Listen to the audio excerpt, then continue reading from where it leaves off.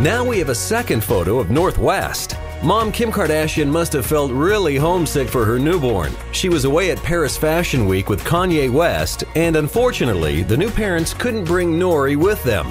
So when she got home, Kim posted a brand new pic of North to her Instagram with the caption, I missed waking up with my little angel. We've only got one other glimpse of North, and in this new shot, she's all bundled up in a tiny blanket.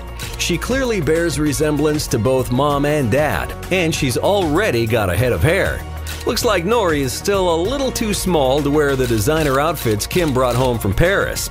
Designers sent her back with a bunch of new clothing items that we just can't wait to see on her.